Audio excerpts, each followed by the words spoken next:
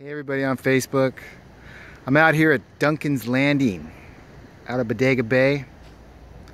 It is truly spectacular out here today. Check it out.